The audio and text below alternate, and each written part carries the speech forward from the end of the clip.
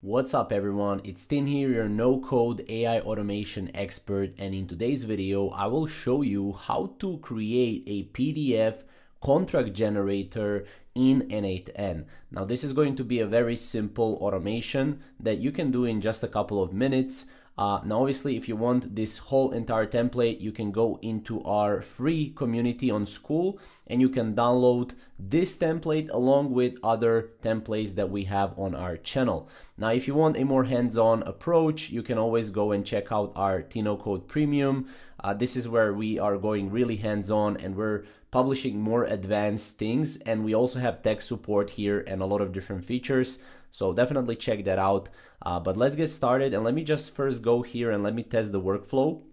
So uh, how we have this workflow structured is we first have a form submission. So whenever you have a client, let's test it here. You basically go here, right?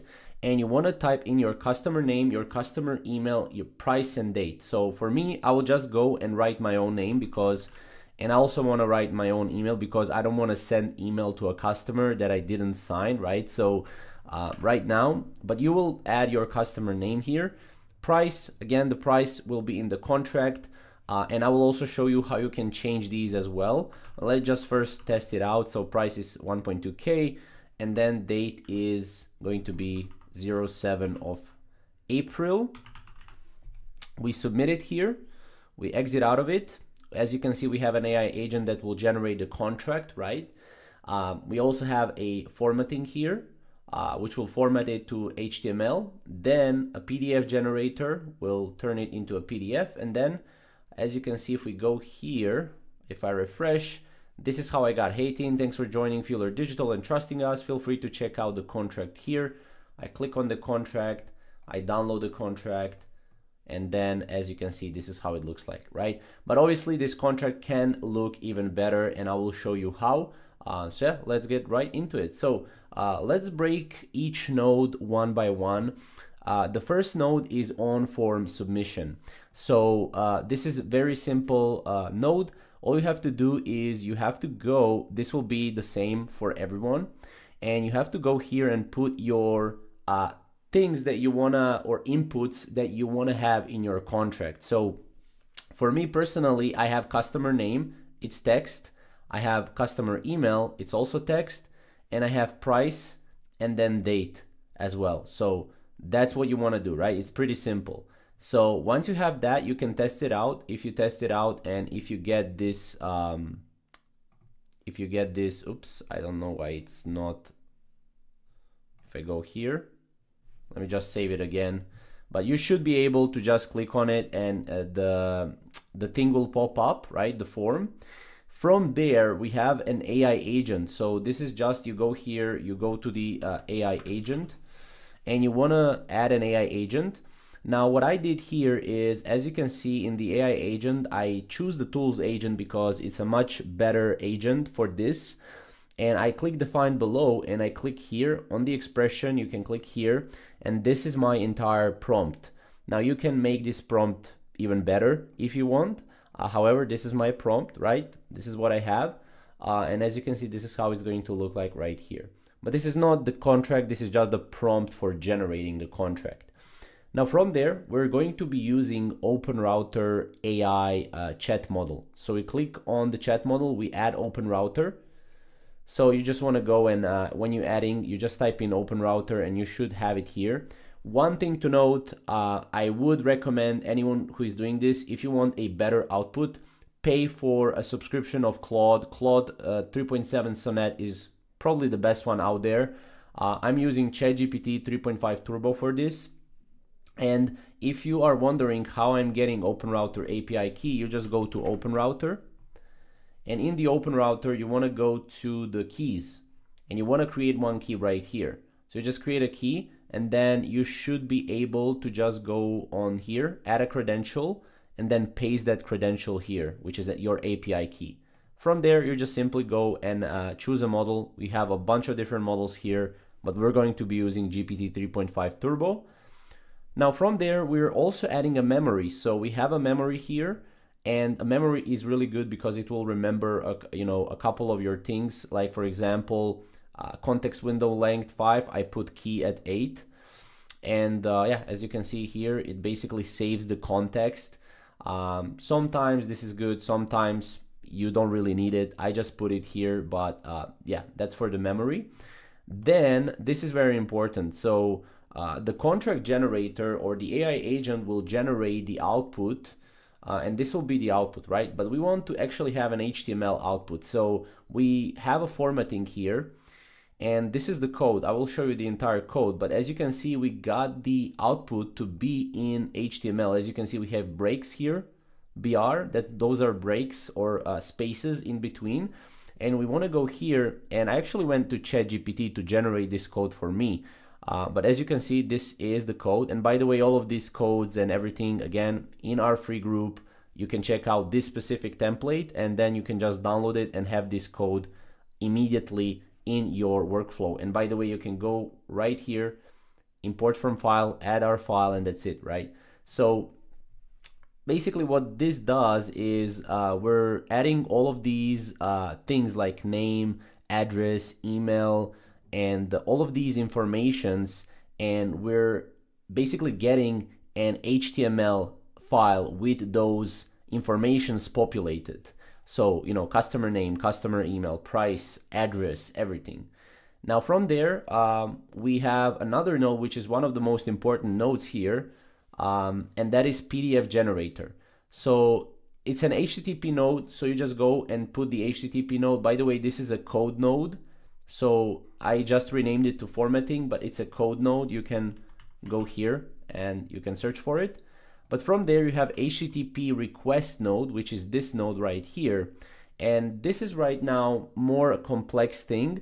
Uh, so what we do is we have a post method and we're using a pdf.co uh, API key. Now this is pdf.co. Uh, you can create an account on it and you get 10,000 free credits. So it's like a free trial, right? It it's up to seven. It's like one month free trial. Um, I'm not sure exactly how much it costs. You can probably do this with free APIs as well.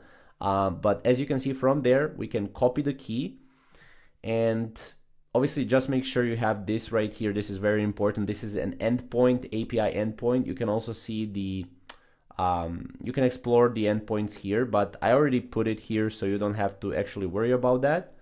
Um, and then using fields below, uh, this is send headers. You want to make sure you turn that on. You have X API key, and this is my API key right here. I will not click on it just so you know I don't reveal the entire key. Uh, and then I have name, which is content type, and the value is application JSON. That's what you want to put. And obviously send body, it needs to be JSON, and you need to use the fields below. And the fields below are these. So we have name, then we're going to be dragging the customer name from here in here, right? So you just drag it here. HTML is the contract HTML and then name is async false. So that's that's what you want. And then response format is JSON uh, and that needs to be there. Then once you test this out, this is what you want to get. You want to get a URL for your specific um, contract. From there, uh, what we have is we have a Gmail node because we actually want to send this contract back to our uh, client. So we have a Gmail node here, as you can see. And by the way, connecting your Gmail account, extremely easy. You just click sign in with Google and you hit continue and that's it, right? So from here, what you want to do is you want to make sure you're sending a message. So send a message. Operation needs to be sent, obviously and we're sending this to an email, which an email is right here. We have a customer email, so we just drag this right here. Subject is going to be, uh, for example, client name. If a client name is John, it will be John X Fuel Your Digital Partnership, right? So that's what it's going to be. And then right here, we just added, if I just click here, we just added the name of our client, which is again right here, right? So it's going to be the full name most of the time. Uh, and then email type is going to be text. And then we have it right here. It's text because if you choose HTML, it's not going to work that great. Uh, you will you won't have like breaks and spaces. And this is what I said right here, hey, and then this is again, we drag the customer name in here. Thanks for joining Fuel Your Digital. Feel free to check out the contract here. And then this is the contract URL. So if you scroll here, this is the URL. And then feel free to take a look at it. If you have any questions, let me know. Best tin. Now, one thing to note here is uh, you want to make sure to add an option to append n8n attribution and make sure to completely turn this off. If you turn this on, your emails won't look like this. They will look more like these, like they will have like a signature from n8n, which you don't want. It looks more professional without it, as you can see right here. And then from there, um, this will be sent out, right? It will be sent out in uh, a form, uh, in a form of these. So this right here. Thanks for joining. Feel free to check out the contract here. And if we click on the contract here, right, this is this is how the contract look like. I already downloaded it here, right? And this is how it looks like. Now, obviously, we can make this automation much more sophisticated. We can add like a, a, signature. We can do that. We can add multiple different things but this is generally what you want to use. Now again in order to have this better the better the output the better the contract right? Uh, in order to have this better make sure to add uh, a better model and let me just save this. For this it could be for example anthropic chat model. And then you can add claude 3.5 sonnet or 3.7 sonnet even is better. Uh, but that's what you want to do right? Um, because with these models it's really you can also use grok chat model and then use the api from uh, claude 3.7 sonnet.